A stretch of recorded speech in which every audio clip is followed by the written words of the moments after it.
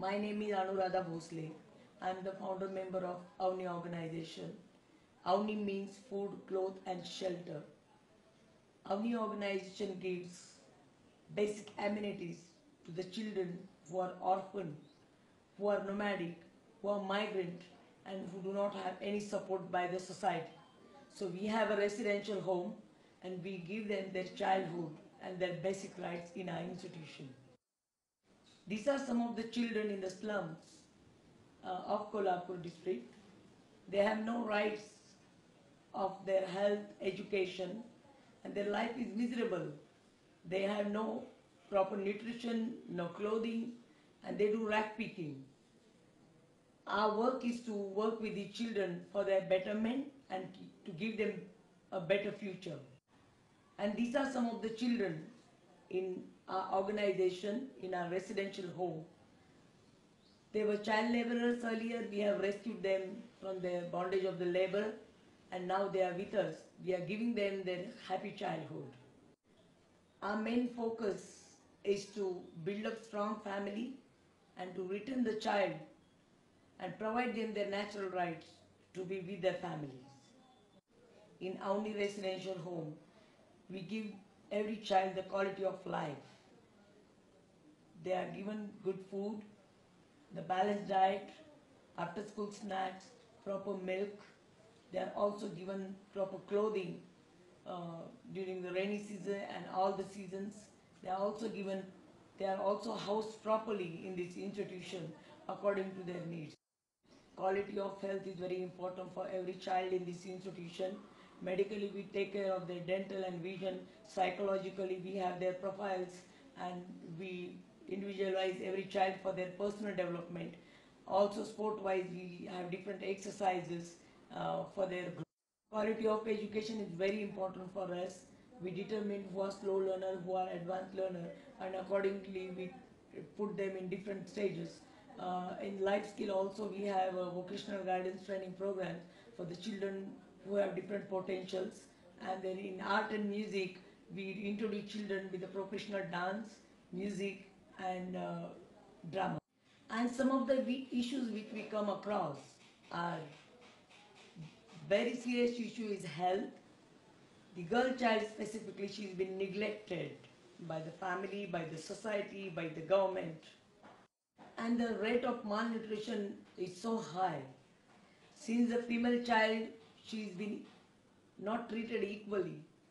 And specifically women, they are not fed well, they are supposed to eat at the last in the family.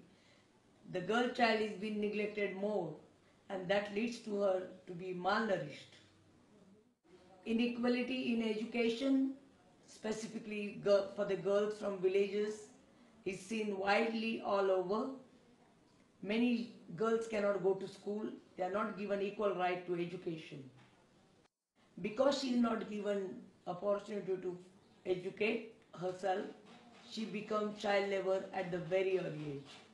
Girls are even trafficked from the rural areas to the cities for the purpose of prostitution. And their age is most of the time below 14.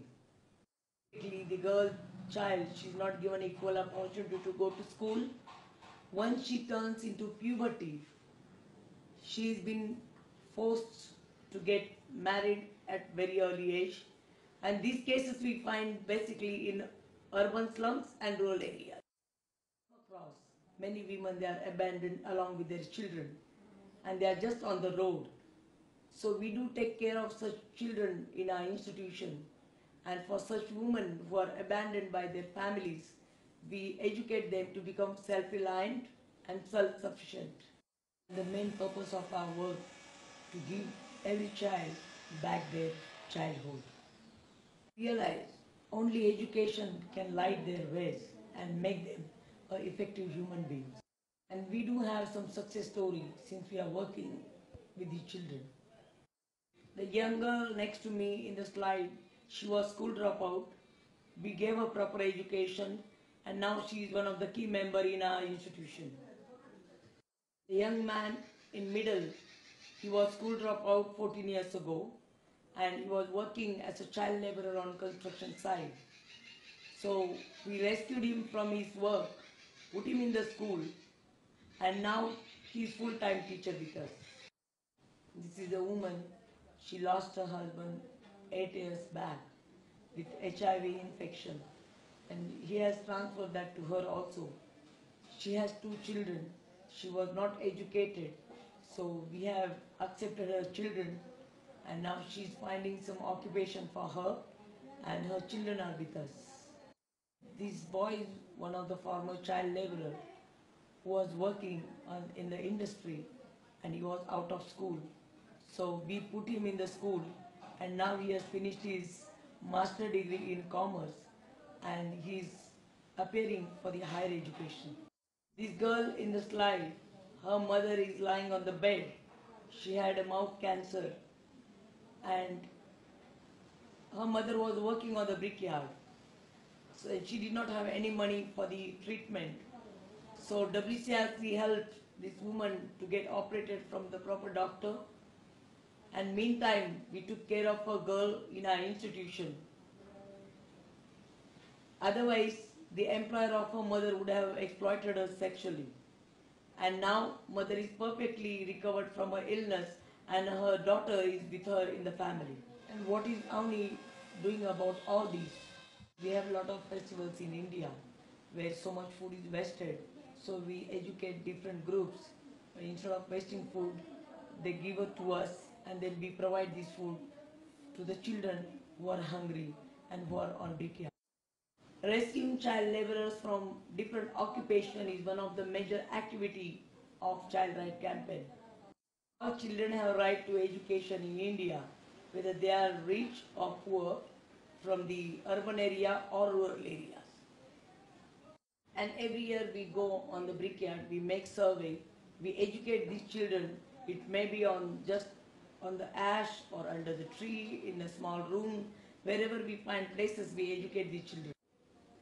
And we do believe in sustainability and self-reliance measures.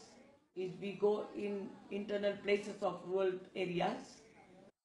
So when we go in internal villages, we realize that women face a lot of unhealthy conditions.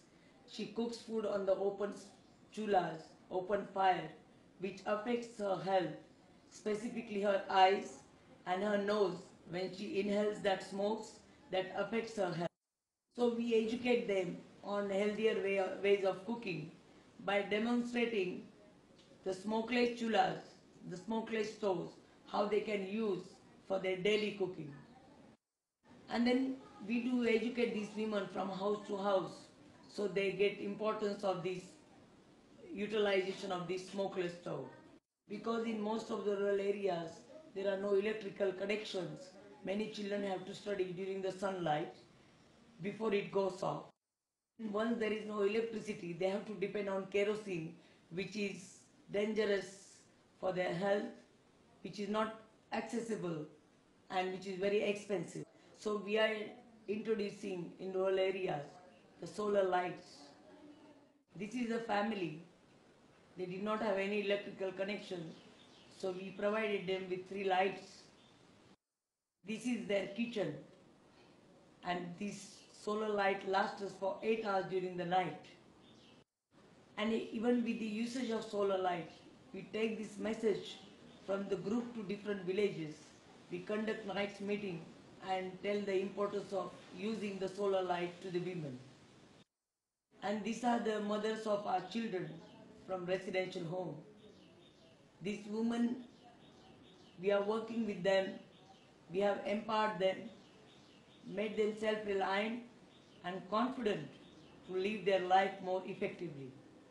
So we do create job for these women to make them self-reliant and self-sufficient with the resources. And we introduce them different material which is eco-friendly and cost-effective. We teach women to make the product with their hands and we provide them the skill how to sell that so that these women become self-reliant. We have festival in, in India called Diwali. So that time these women make handmade lantern and they sell it in the market so that it helps them to support their family financially. We do introduce them recycled clothes for different decorative material. Also, the recycled paper is used for handmade greetings and which these women sell in the market to help themselves. We educate women on using of recycled plastic while doing the video, which help them to create different types of material and they sell it to different people and support themselves. And as I said, our main objective is to give every child their natural rights to be with their mother and we make these women self-reliant, confident and empower her to take care of their, her own children.